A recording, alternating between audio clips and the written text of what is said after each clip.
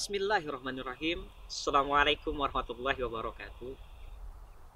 Alhamdulillah wa syukurillah wassalatu wassalamu ala Nabi Muhammad bin Abdullah amma ba'du. Teman-teman yang sama-sama dirahmati oleh Allah Subhanahu wa taala. Move up. Apa itu move up?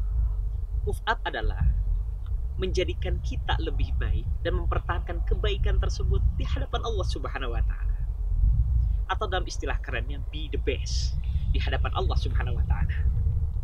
Kenapa kita harus move up, teman-teman? Dikarenakan kebanyakan manusia selalu melihat masa lalu dan menjadikan masa lalu sebagai kacamata dan dia meratapinya. Padahal Allah berfirman dalam Al-Qur'an bahwasannya Ya ayuhalladzina amanu taqullaha wal tanzur nafsum ma qaddamat ligad. Yang mana artinya Wahai orang-orang yang beriman, bertakwalah kepada Allah Subhanahu wa taala dan lihatlah kepada hari yang akan terjadi di masa yang akan datang. Berarti Allah menyuruh kita untuk memperlihatkan kebaikan kita tersebut dan menjadikan kita lebih baik di masa yang akan datang. Sebagaimana sabda Rasulullah SAW, Man kana yaumuhu khairan min amfihi fahuwa rabihun wa kana yaumuhu mithla amthihi fahuwa magbunun. Wa kana yaumuhu syarra min malaunun. Yang mana terjemahannya? Barang siapa yang keadaannya hari ini lebih baik dari hari kemarin maka dia termasuk orang yang beruntung bahagia.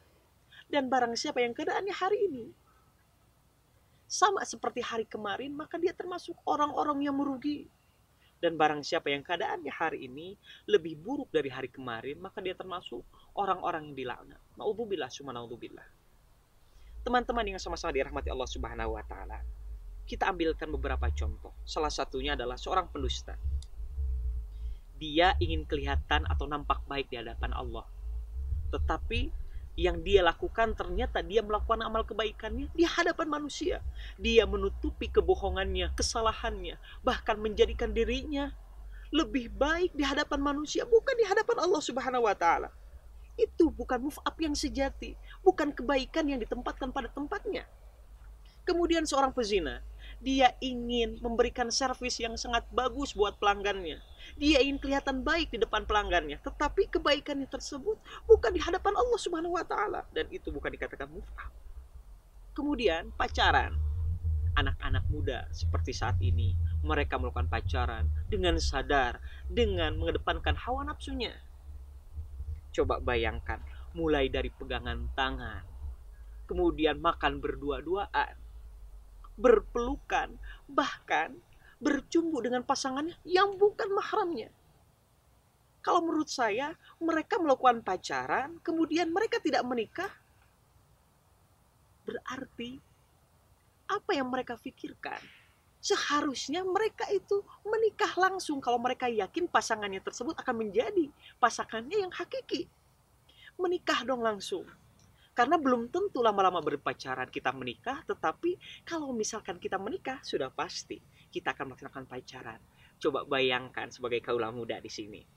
Berpegangan tangan, bisa menjadi sunnah, bahkan melakukan pahala. Kemudian berpeluk-pelukan, akan mendapatkan pahala, bahkan bahagia kita. Kemudian bercumbu dengan pasangan kita yang sudah menjadi mahramnya akan menjadikan pahala dan kebahagiaan baik kita lahir dan batin siapa yang tidak ingin melakukan hal tersebut. Oleh karena itu teman-teman yang sama-sama dirahmati Allah Subhanahu wa taala, move up yang hakiki adalah menjadikan kita lebih baik di hadapan Allah Subhanahu wa taala. Move up yang sebenarnya adalah menjadikan kita lebih baik dari hari kemarin, bahkan melihat masa depan yang cerah di depannya.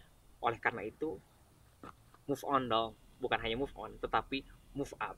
Wassalamualaikum warahmatullahi wabarakatuh.